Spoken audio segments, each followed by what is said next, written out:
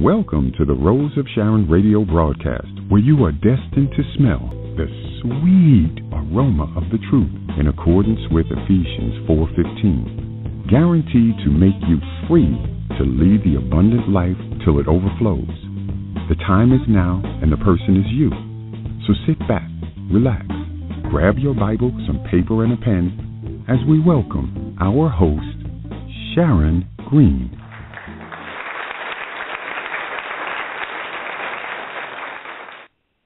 Good evening, everyone. This is Sharon Green, and yes, you are listening to the Rose of Sharon show on the Survival Radio Christian Network. Thank you for joining me on this evening.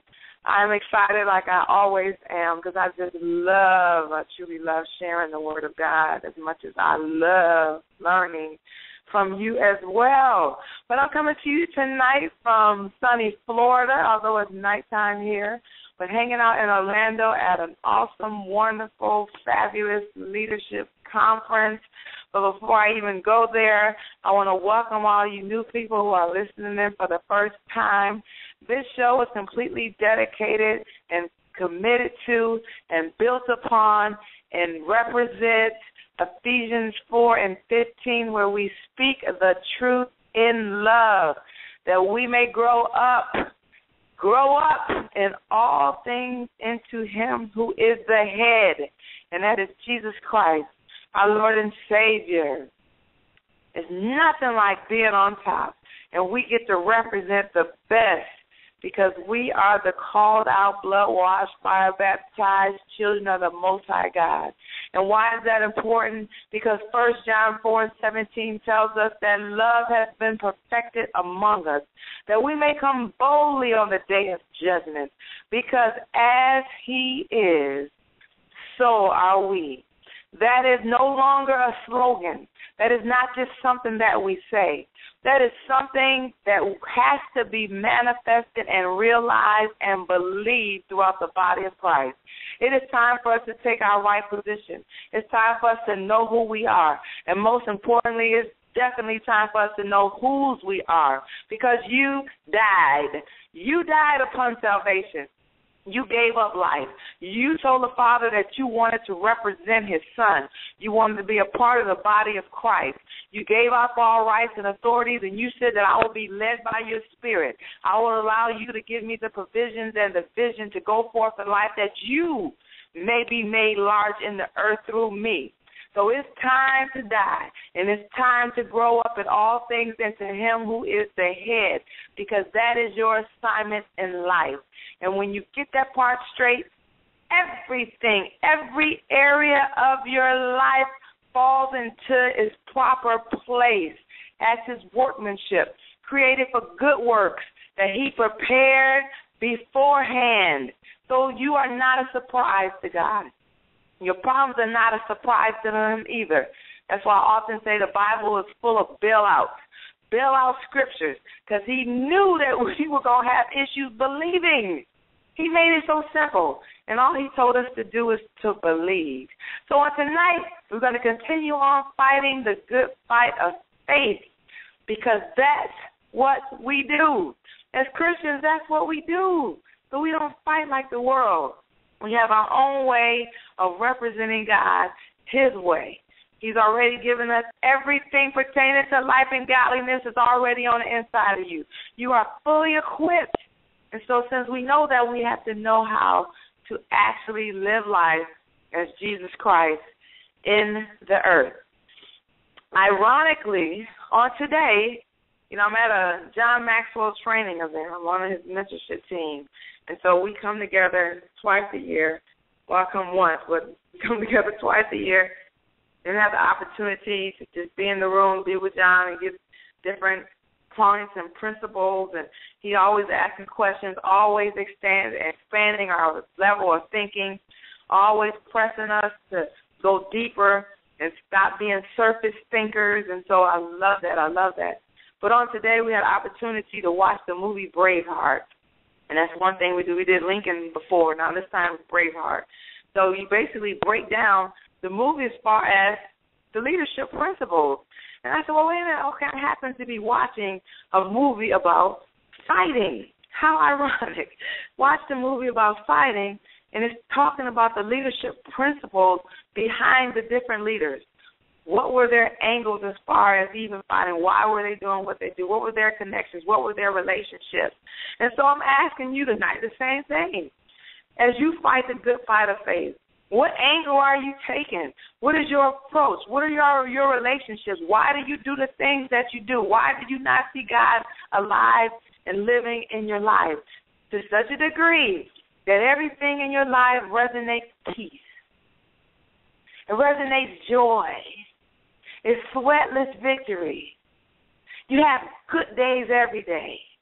Your heart is happy. You're a merry person. The people around you are prosperous. And life is good. And so you don't see that. If you don't if you can't say that, then you have to know that this ain't God. We have to know that. You have to look around and not think it, you know, there's some things we have to go through because when you hang out with leaders, I will tell you, it's it's a wonderful thing because I always say John is what my man of God back in Maryland is, Pastor Michael Freeman is. The Lord has called him the unifier body. That Jesus can play, pray three times in John 17 that we be one, as He and the Father is one. Unity is a big deal with God.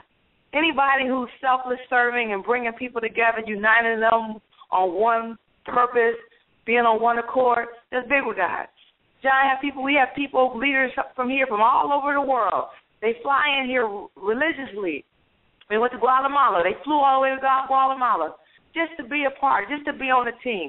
Everybody left their denominations at the door. Everybody left their religious backgrounds or lack thereof at the door.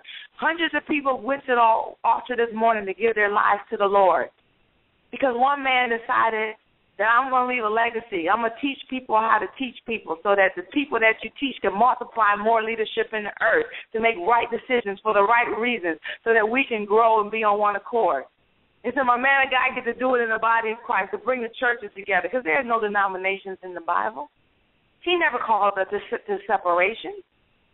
And so unless we start seeing this and speaking about it and being about the things of the kingdom and the earth, we're going to continue to live a life with an excuse.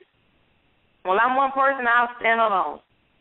I don't give a darn. I will stand by myself. If it don't line up with the word, if it don't line up with his will, I'm not the one. I'm not your girl. I'm not buying it. I could care less about who says what. If it don't line up with this word, then it's not real to me. It's a lie. I don't do lies. People die because of lies. Life is really horrible because of lies. A little lie is a lie. Our Father is not the, the author of lies. He said he hates lies. Satan is the father of lies. And so if it's not the truth, it's a lie. And the truth is the only thing that's going to make us free. So that's why I don't mind speaking it. At any time, on any occasion, it's okay. I'll just stand by myself. And lately, I know that this thing is going to get bigger, way bigger than me. Way, way, way, way, way bigger than me. And so just being here this weekend, I'm like, okay, so now who do I know or don't know? I don't have to know you to know that this dispensation in time is evolving. It's evolving, and there's nothing that one person can do alone. I'm not trying to build no team like John Maxwell's team. I know that, but I'm trying to be in the presence of people who truly believe the word, who can help manifest new thoughts, have visions, have revelation services, stop the testimony services. Stop all of that. Stop talking about you. When you talk about Jesus, you get revelation you get understanding and you know that these things that don't look like God are not from Him, and therefore they get no time, no effort, no excuse. You just know it's out of order. So, as we almost let me focus, let me focus, let me focus. as we fight the good fight of faith, that is our assignment to fight the good fight of faith. And the first step, I think we, I don't know, I talked about a lot last week too, but the first very step is to know who you are. Because you, when you know who you are, when you know who you are, you don't fight no way. Nobody in the body of Christ fights. What we gonna fight for? We got angels that fight for us. They're on assignment. We we speak the word of God, they hear us speaking it, and they go out, they set out. We've already been shielded. The Lord is our shield. And so if he has shield around you, why do you have so much infiltration? Nobody's getting past God to get to you. Nobody's getting past the angel of the Lord that surrounds those who fear God. Nobody's just getting in there. So if, if everything in your world is falling apart, you are contributing to your own demise. And once you recognize that, because when you know who you are and you recognize, you recognize that this right here is not my father, is when you will really start to say and do something about it. And yes, for those of you who may be listening for scriptures and all of that, I'm going to go there. But that's one revelation that I've got is Lord, what in the world are we doing wrong? We have the same stuff week after week. Everybody going to church. Nobody truly growing up. It doesn't take much. I don't care how long you've been in church. I can have a conversation with you, and in a minute, I'll know whether or not you've grown. Because your mouth will be a reflection of what's in your heart. And your heart does not lie. It'll tell anybody where you're at as far as your spiritual walk. It does not take long. Matter of fact, it's a one of the biggest church in my area in Maryland where I live. I I kid you not, it's one of the biggest churches in the area, and to this day, I have never met anyone from that church that's mature. Not one person. If I was to start a conversation with them about how we're the healed of Jesus Christ and sickness is a curse, I would get the same. But what about this? But what about this person? But what about this? Well, you know God allowed it. You know God allowed it. The same stuff. Why would you want to defend a curse?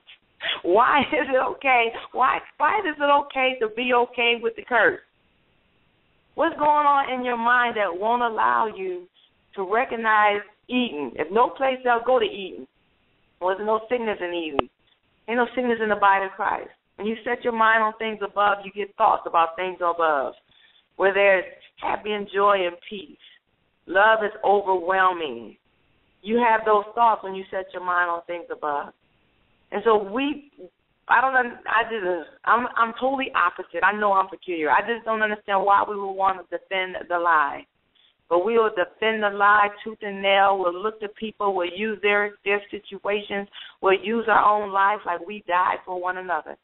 You ain't died for me, and, and I'm pretty sure I probably wouldn't die for you now. I'm not gonna lie about that. So you can't even look to me. I'm not your source. The word is in the word that you need for your solution is in the Bible. And once you meditate on it, it will be inside of you. Because we have to stop looking at the Bible like that's God. He created you to be Him. So the more you meditate and get that word in your heart, it evolves. You soon become the Word, a speaking spirit representing Christ in the flesh. The Word became flesh and dwelt among us. That's His plan for your life. Not to have a book that you go to and you worship a book more than you do what's on the inside of you. And so we have to fix that. And so though I, let me go back to the scriptures. Okay, I, I'm going to get to the scripture part. But as I sought God on what are we doing wrong? Why are we not growing up? Why do we have so many babies? Got all these people in leadership positions that's running around here like a bunch of punks. Excuse my language, but most pastors wouldn't make it in the military. They would get their tail whooped by the soldiers because they always want to give an excuse for somebody who can't get it and they falling apart and you know we just got to meet them where they at. No, Jesus went out into the world. He went out with the people. He did. I get that. He was with them. Show me where he sat there and talked to them about their problems. He didn't come down to talk to them and remind them that they was getting their tail whooped, and they didn't even have Holy Spirit. He didn't sit there to talk about them about their problems and make them feel good about having a problem. He showed them the Father through his life. He showed them hope through his words and his actions. Opening blinded eyes, laying hands on the sick, calling the causing the dead to come back alive. He showed life to them. And they sought after him. So there's one big problem. We don't show life. We show words. We show other people. We quote people like they're God themselves. We look to people more than we do to the Word of God. So we have to fix that because fighting is not a little sissy thing that you do. You don't fight like the world do. We don't ball up our fists, go get guns and knives. That's not how we fight. Fighting is having a Holy Spirit conviction that the word is true, that my Father loves me, that I'm created to represent Him. Fighting is speaking His words, putting Him in remembrance of what He said about you, what He said about what He's already prepared for you in advance. Fighting is knowing that is unity in the body of Christ, that we can get more done in the earth unified and on one accord, so that the world will see our good works and glorify God. Right now, we do so much fighting against each other. The world don't know Christ from Buddha, from all them other people. They're Christian, no, they. They confused. They're confused because nothing about us is unified. And when I say us, for the people that's listening in, I'm talking about the body of Christ. Thank God you are more mature. I may not be talking about you specifically, but who are you helping to make sure I'm not talking about them? Who's in your life that your light is shining so brightly that you're wise because they chose Christ because they had an experience with you? So those are the questions you have to ask yourself. Because sitting at home taking care of your family, that's old. Jesus didn't even come here to keep the family together.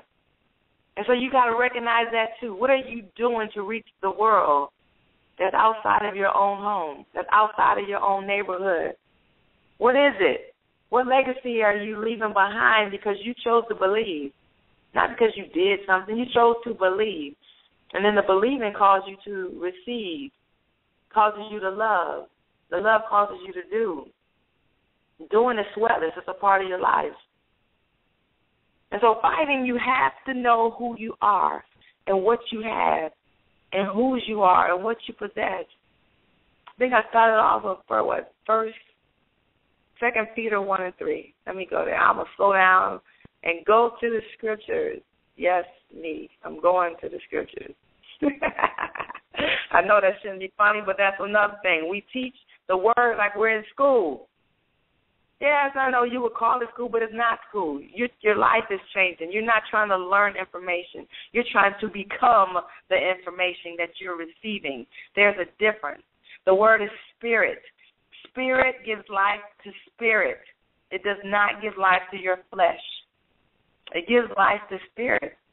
And so long as we're in an environment where I'm trying to make you feel good about being there, we're going to continue to have babies running around here and then we won't see the life that Jesus died for us to have.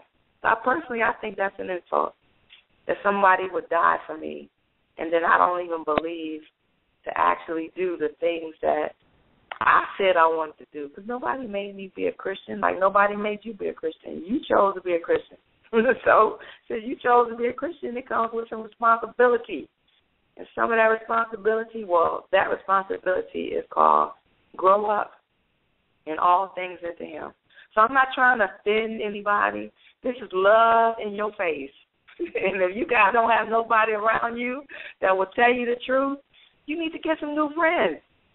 Get away from them people who just want you to feel good. No, I'm not trying to make you feel bad, but once you get past that stage of how you feel into who I am and whose I am and making him look bigger and brighter through your life, get nobody offend you because you know that uh, you have to take an offense.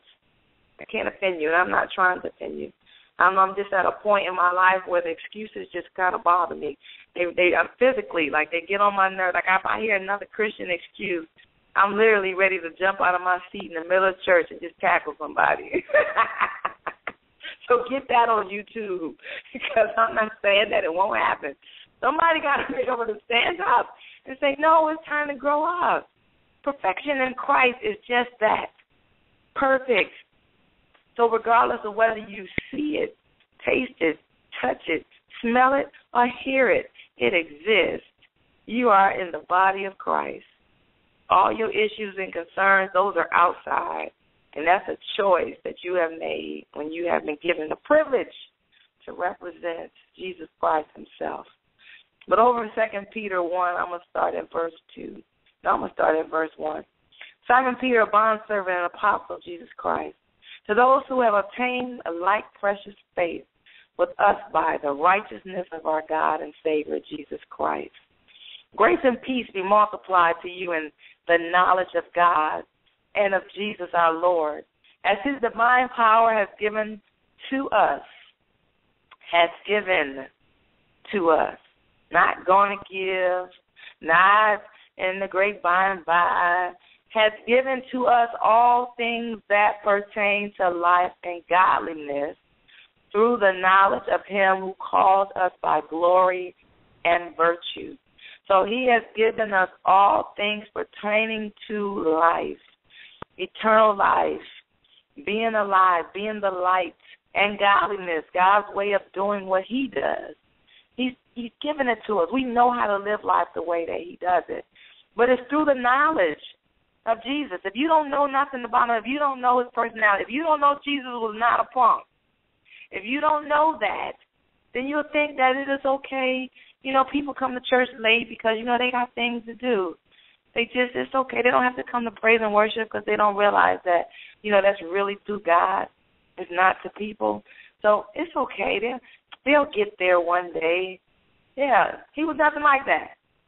He was like, look, if you want to drink, what he said, drink this, drink this blood or drink this whatever. He told the people, if you don't want to go with me, then leave. And then after they left, many left. Think that's John. Many left. He told the, the, the disciples, y'all want to go too? he didn't play. He was about his father's business. Love him. But you have everything that you need for life and that you need for God. It's already on the inside of you. Now, if you go with me over to Ephesians 1. Ephesians 1 and 3. Hold up just a minute. Ephesians 1 and 3 says, I'm trying not to read by memory today. Hold up.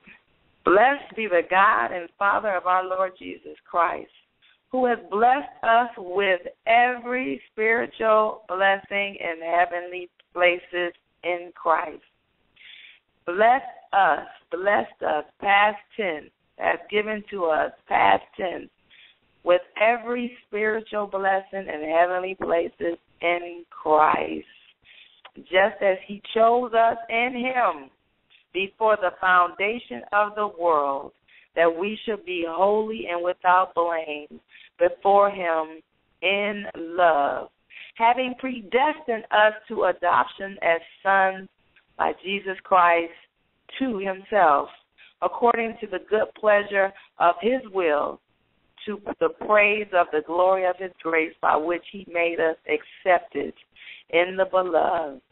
We are his beloved. He so loved us.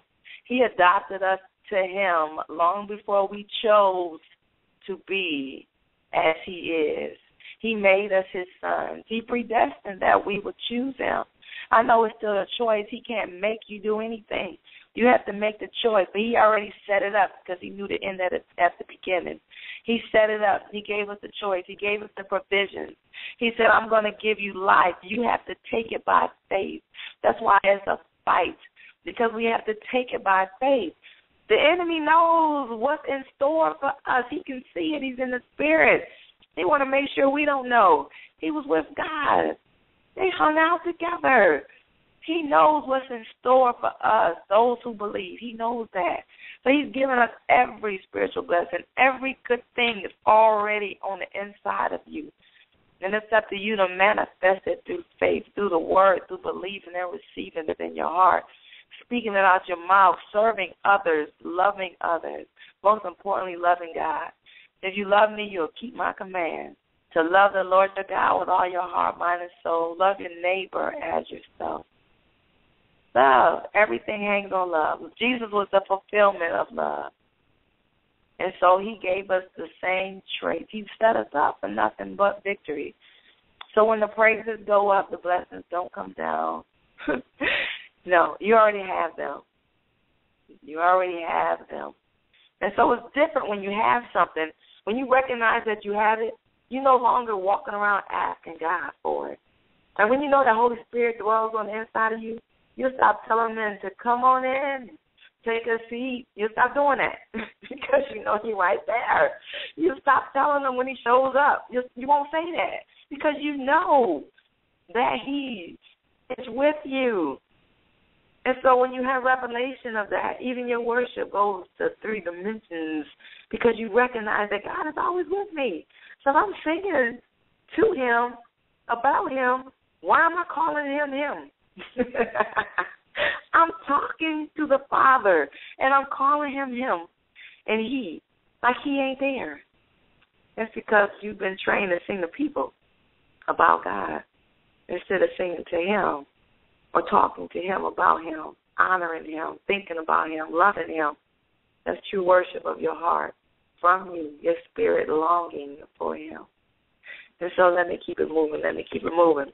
Romans 12 and 3. Let's go there next. Because you're equipped. You want to bad somebody. And so regardless of what it looks like, whatever state your life may be in,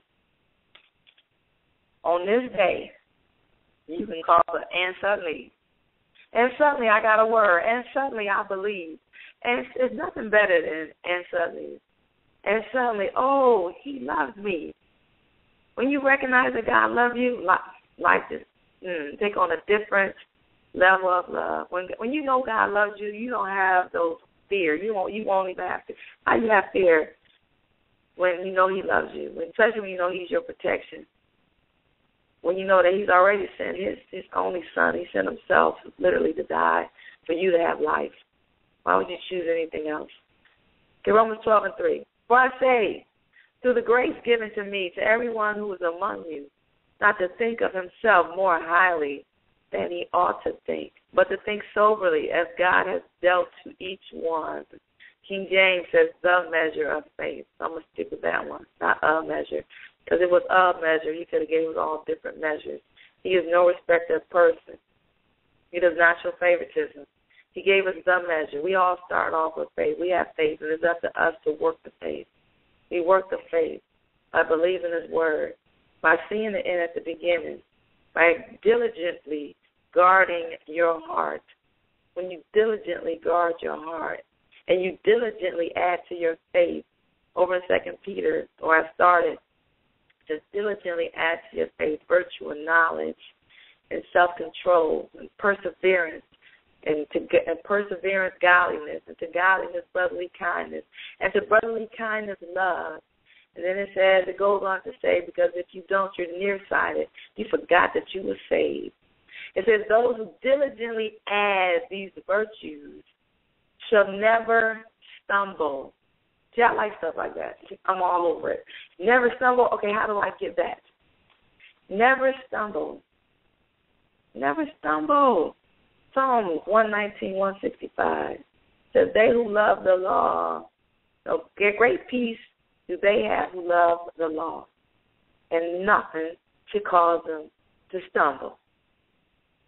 So that's like, wow, Nothing should cause us to stumble. But what about such and such? What about this person? You know, what about this? No, no, I don't care about this or them or who that is. The Bible tells me it should, I should not be stumbling. If I love His Word, if it's in my heart, I'm meditating on it, I'm giving Him praise and glory. If He is leading me, because the Holy Spirit will never ever lead you into anything that's not good and not perfect. So if it's not good, if it's not perfect, it's probably you taking a stroll outside of the body of Christ, outside of your divine protection, and clearly outside of your assignment in Him. And so, as we continue to grow in all things into Him who is the head, we're going to get ready to go to commercial. We're going to come back and we're going to continue to understand how to fight. We haven't even started fighting yet. We're just working on you knowing who you are. Because when you know who you are, you'll go into battle with vehicles without doors. I mean, that was kind of arrogant of the United States to go to war in a land with vehicles that don't have doors on them. So, you know, we had a little sense of pride in who we are and what we represent and how well equipped we are. Because we are. Our military is very well prepared, very well equipped to fight. But you, ladies and gentlemen, you got more arsenal on the inside of you than any any military in the whole world because you don't have to fight because you fight from victory. You're not trying to defend yourself. You've already won. That's why you're more than a conqueror. That's why you're an overcomer. That's why you're victorious. And that's why he always leads you into triumph, regardless of what it looks like. And when you know that, you know your situations and circumstances are only temporary. But when you really know that you're adding to it, you'll stop. You'll stop and ask for some help. Ask them to come into your life and to lead you and guide you. So, Gary, this is Sharon Green. You're listening to the of Sharon show. We're getting ready to go to commercial break. And when we come back, we're going to continue fighting the good fight of faith.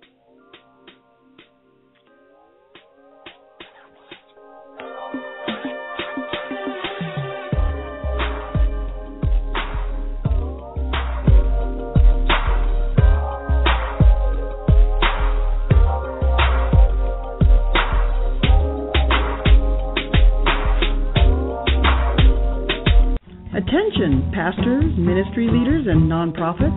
Did you know that most leaders cannot describe their ideal leadership environment? Do you currently have systems in place to facilitate a growth environment? Imagine having a ministry or organization with the tools and strategies that are guaranteed to improve leadership awareness in your staff and volunteers. Stop and imagine no longer. Alley Thiefs Consulting Group was established just for you, those who dare to lead from the inside out.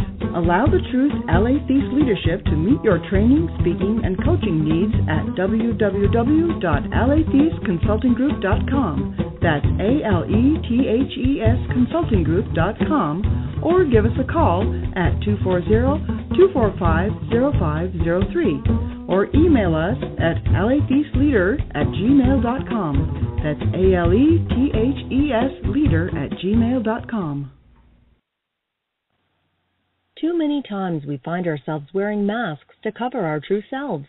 Girl in the Glass is an empowerment group that supports you in honoring the person you are meant to be. Go to www.girlintheglass.net and learn to trust, receive, and believe in your ability to live in your truth. Visit www.girlintheglass.net today.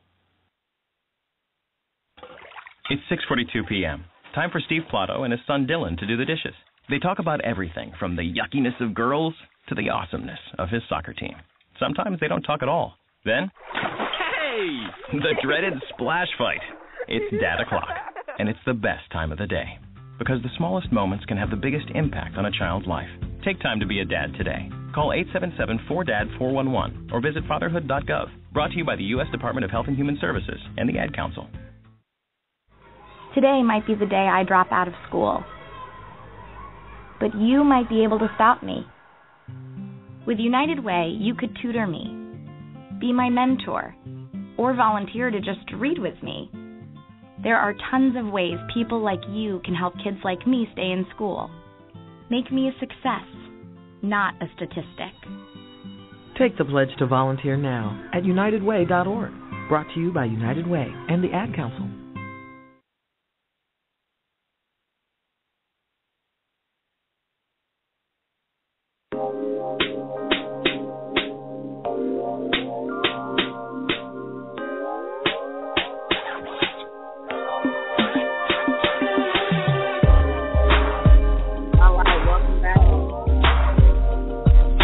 Welcome back, ladies and gentlemen.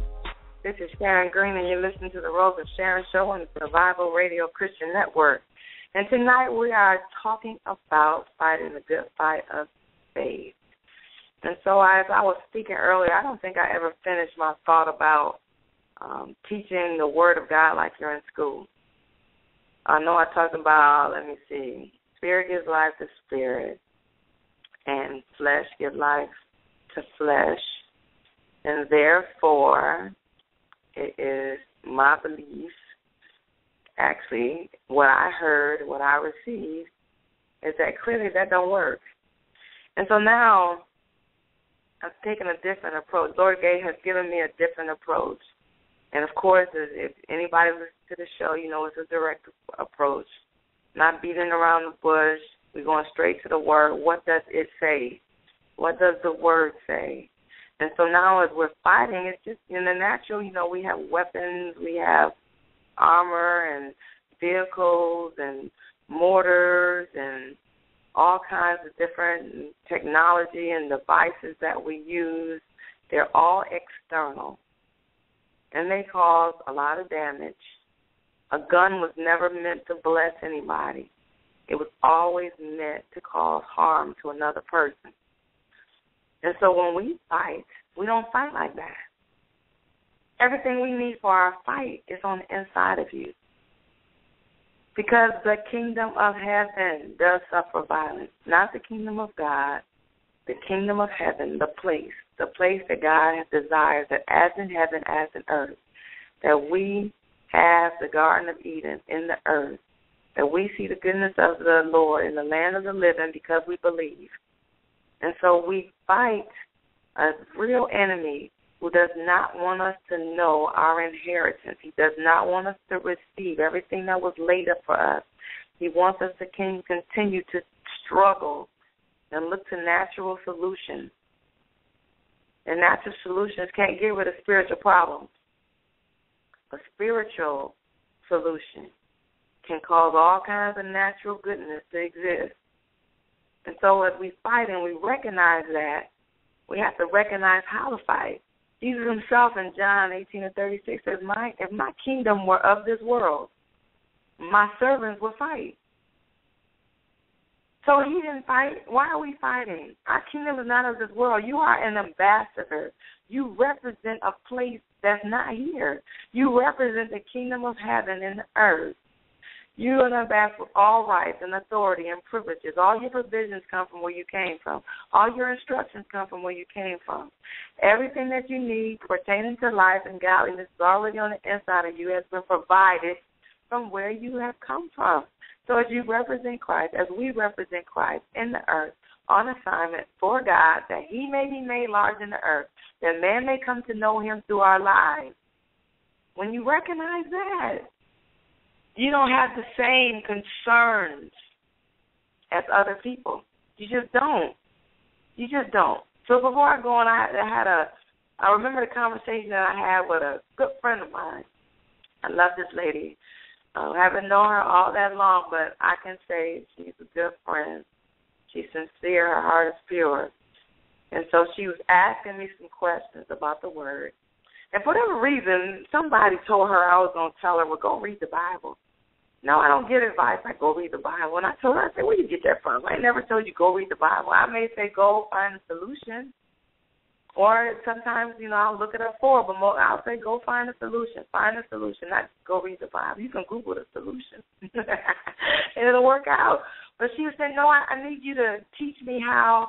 Like for instance, if I was in water and I couldn't swim, and then you would give me the instructions on how to swim, because you know you wouldn't let me drown. You would, you know, you would send throw me in a life vest or something to help me learn how to swim.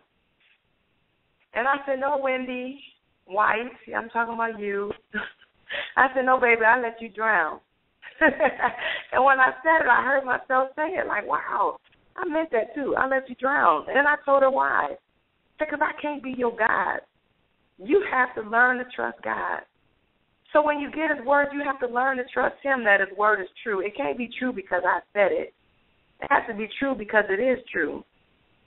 It has to be the right thing to do because it is the right thing to do. So as I said that, I said, wow, you know, that's really true. I would let you drown. I wouldn't just be jumping in and getting all wet and all messed up because you done fell in the water. ah, that's not selfish. I would not never let her drown. But I, I'm using that to say that you have to trust God. You can't wait to see something in order to believe it.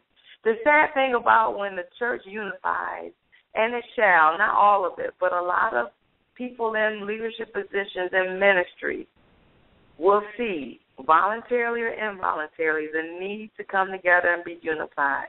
And the sad thing about that is when unity happens and signs and wonders uh, follow those who believe, and God is made large finally in the body, the church will be the one showing the surprise. Christians will be the ones showing up not expecting God to be big in the earth. And we our assignment is to believe, not to see. Because when you believe you shall see. But you have to see it first. See it in your heart. See it in your spirit. Okay, well let me keep going. See it in your spirit. So when you know who you are, then you know the equipment that you have on board. And so the most important product, person that you have equipping you, the power of God, is the Spirit of God.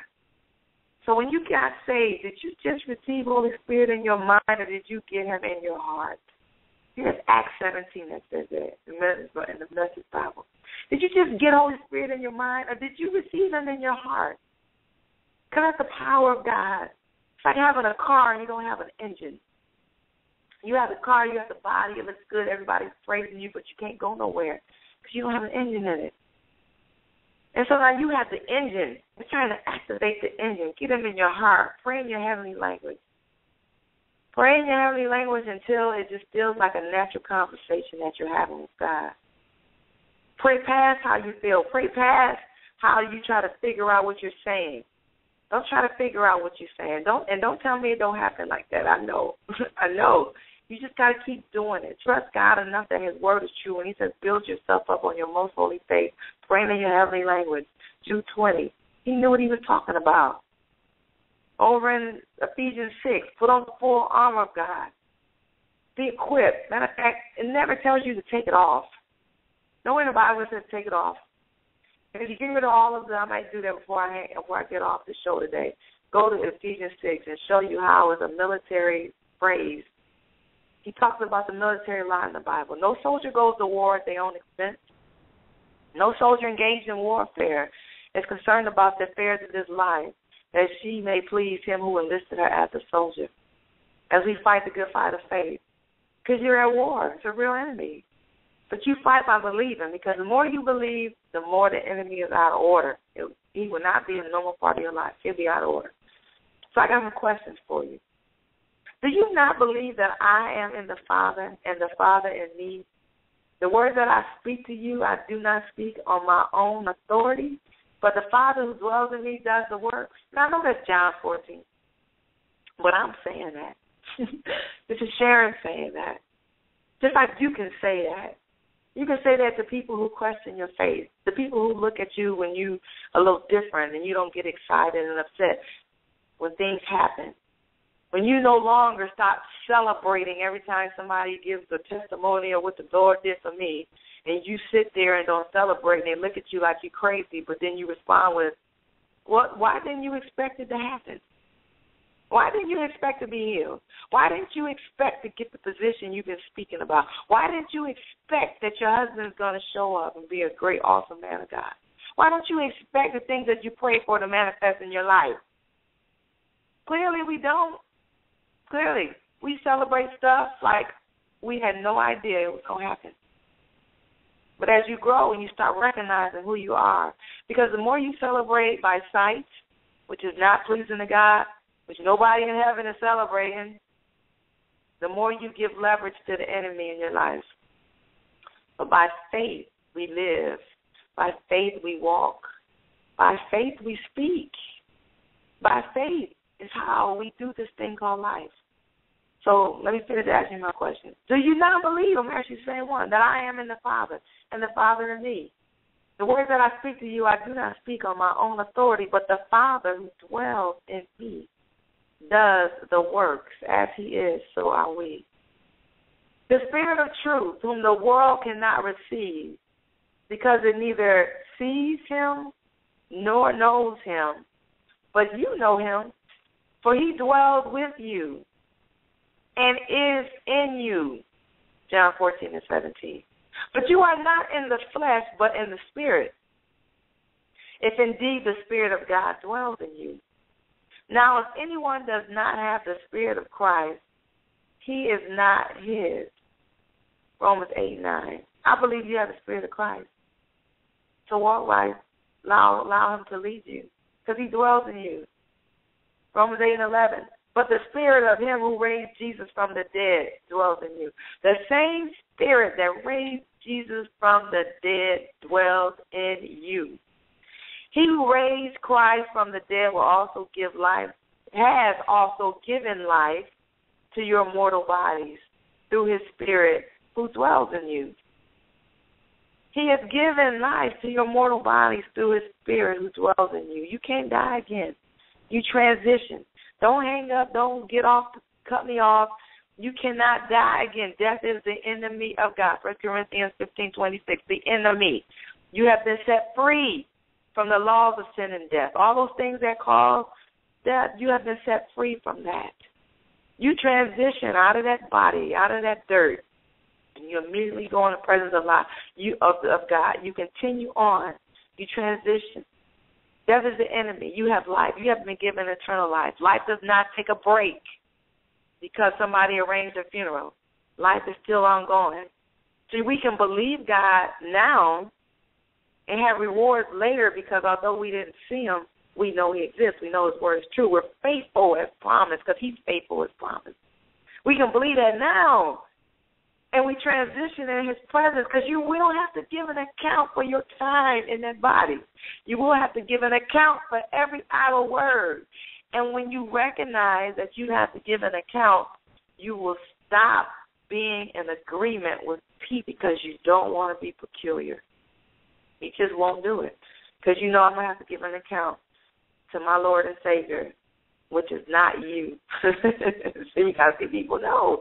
Let every man be a liar. I don't care how many shows, how much money they have, how much, how important they look. Like I just said, one of the biggest churches where I live. Sure, they got plenty of money, loaded. It looks like they're doing great things. I've never met a single person on that church that's mature. Not one. They're greatly entertained. We have these things that we do. We come together. But what are we getting out of it? How am I stretching? How am I growing? If everything I got to talk about is me, then I know my life can't be all that great. If I can't talk about the goodness of the Lord and the land of the living. First Corinthians three and sixteen. Do you not know that you are the temple of God? And that the Spirit of God dwells in you? And then James four and five. Or do you think that the scripture say says in vain? The spirit who dwells in us yearns jealousy, jealously. The spirit of God, that God's name is jealous. I like to talk about Exodus 34 and 14, which says, "You don't you better not worship no other God besides me." I know that's my interpretation, but that's what it says. You should not worship another God besides me. I'm a jealous God. My name is jealous. And his jealousy extends to his love of you. Like he gonna let somebody mess with his prized possession, his people, his children. But the spirit of God that's inside of you is jealous. It longs for the Father. It longs for life because it doesn't know death. It doesn't know evil. God has no evil to give you. It sees it because his hands are tied.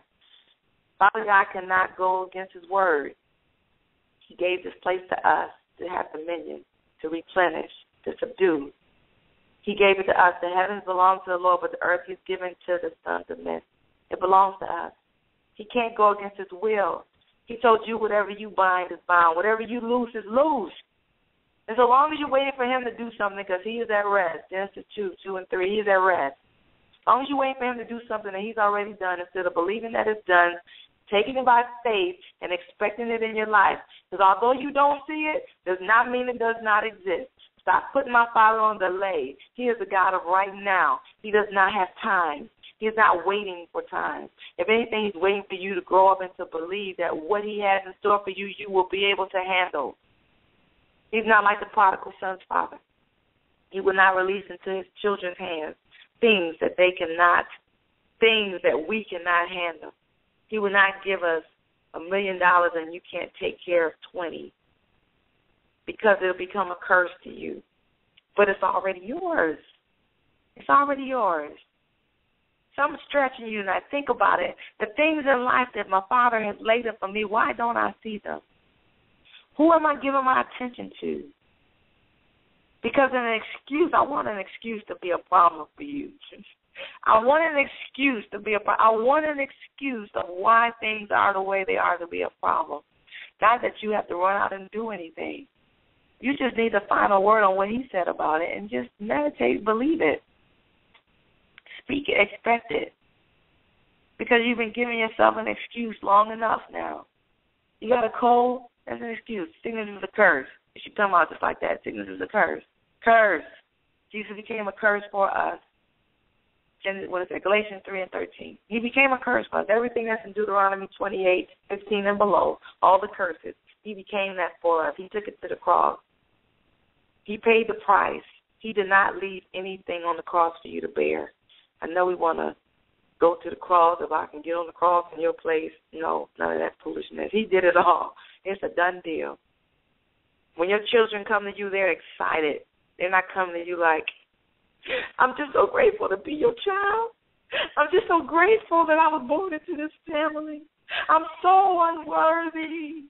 No, your children don't do that. No, and God don't want us doing that either. He wants us to be excited about being His called out children. Call out of darkness into His marvelous light, into the kingdom of His Son that He loves. He, he wants us to be excited. He wants us to be confident in who we are in Him. He wants us to reverence the thought of Him and not people. And so we got nine minutes left. If you have the desire to call in or ask questions, please do so while you're contemplating on doing so. this Wednesday, we have our Wednesday morning prayer call at 6 a.m. because we fight by prayer. Because we fighting again next week. You're going around three. How we fight? We fight with prayer. Now, if you don't pray, or if you pray in doubt and unbelief, you might as well just don't pray. No, I shouldn't say that. I take that back. I apologize. No, keep praying. Keep praying. Keep praying until you get it, get it right. Just keep doing it. Keep talking to him. He'll help you. He'll help you. He'll convict you back. He'll remind you. I already did that for you. I already did that for you too. I already did that for you. He'll remind you. So I apologize for that. But the number for the prayer call is four two four two zero oh three eight four zero zero nine three six five five six in the pound key. That's the number for the prayer call Wednesday at 6 a.m. So call in. And don't be afraid to ask for help. Don't be afraid to ask questions. That's how we grow. You don't know everything. Your life does not have the authority to prove God. I don't care what you've been through or who's been through what. Your life doesn't have the authority to prove God. Your life only has the authority to reveal Him. He wants you to reveal Him to the world. That's your assignment. But the stuff you went through, that can't prove God because He set you up for peace before you got here. He set you up for problems. So we have to fix that and expect Him. There are no problems in heaven. So you set your mind on things above, there are no problems. Many of the afflictions of the righteous does not mean all righteous people have afflictions. It does not mean that. In me you may have peace. In this world you shall have tribulation. In me you may have peace of faith. In this world you shall have tribulation of sight. And they overcame him by the blood of the Lamb and the words of the testimony and did not love their lives to death. They did not love their lives to death. They decided to lay down their lives and pick up their cross and follow him and be as he is. And they overcame him. Who was they and who was him? Go look at Revelation 12 and 10. Find out who was they and who was him. Because they is not any problems. Because and the Lamb, the blood and the Lamb, the Lamb took away the sins of the world. So your problem got sin in it somewhere. Trust it does. And so let's get ourselves off of our mind and let's fight. Next week I'm you know, I'm taking this a little slower than I actually planned because we have, you got to know who you are in order to fight. Because nobody goes to battle expecting to lose. As an athlete, I never walked on a court. Now, one basketball court, like, hmm, we're gonna lose today. I could care less who was playing. Yes, I lost a few games. I lost some a few games by a lot in some cases. Not that many though, praise God. But I have. But I never went on the court expecting to win. It didn't bother me, or I never gave up before the end of the game. Cause no, nobody goes out there, and I could care less who was playing.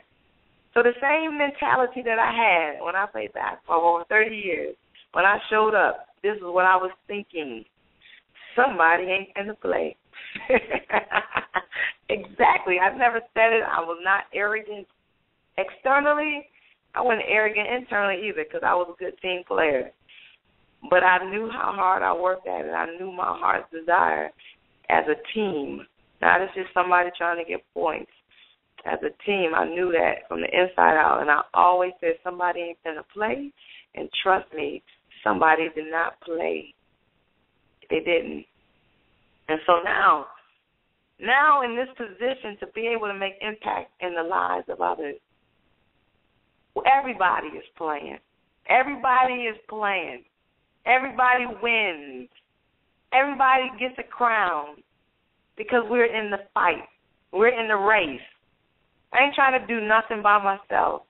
I need people in the body with me because it's my body. It's my, we all in the body, so I get to talk about the body. I ain't got to know you. I get to talk about you. I get to catch your words. I get to tell you what truth looks like. Whether you receive it or not, that is not my concern. I thank God that He has freed me from that. Whether you like what I'm saying or not, that is not my concern. I just get to speak life. He gets to do the work on your heart. The Holy Spirit is connecting to His Word.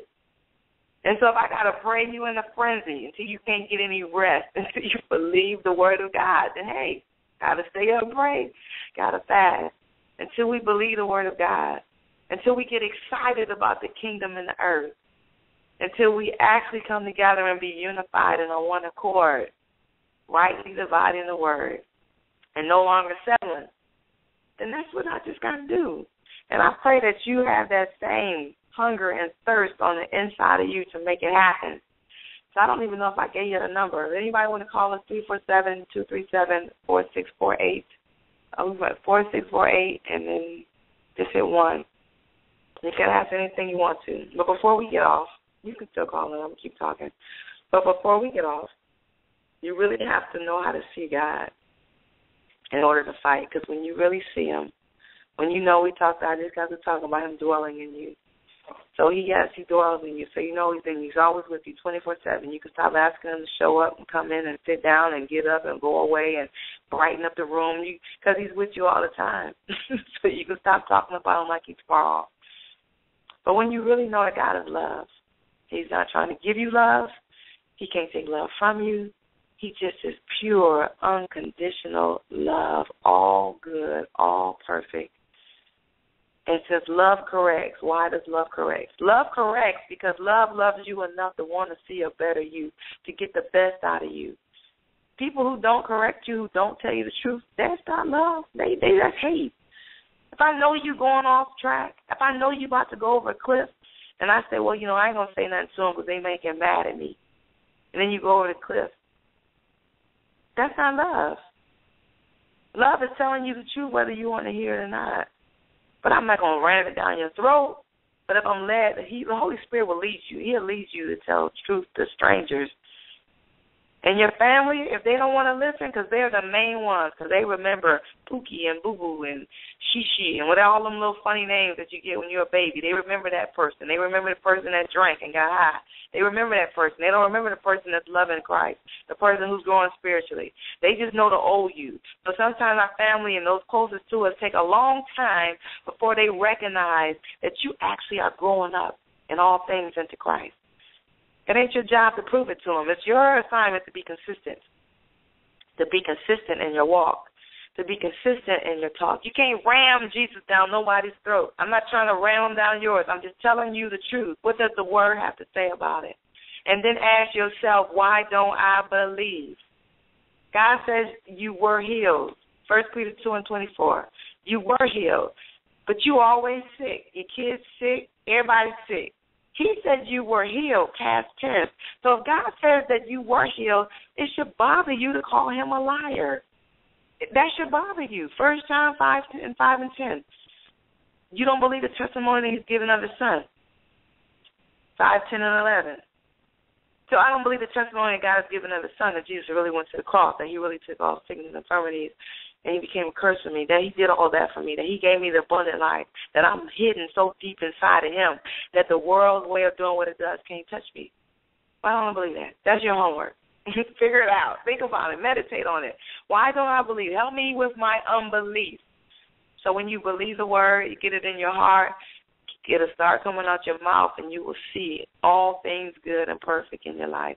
That's my prayer for you on tonight. I pray that you got something out of this. You need to reach out to me. I'm on Google me. Go to YouTube. Find, find if that important, you'll find me. Go to my Facebook page. Anyway, I just want to tell you that I love you, but God loves you more. Have a wonderfully blessed week. I look forward to doing this again next week, same time, Sunday, 9 p.m. This is Sharon Green. You listen to the Rose of Sharon show on the Survival Radio Christian Network. Have a wonderfully awesome, blessed night. Tune in next Sunday at 9 p.m. Eastern Time for more of the Rose of Sharon show with our host, Sharon Green, on the Survival Radio Christian Network.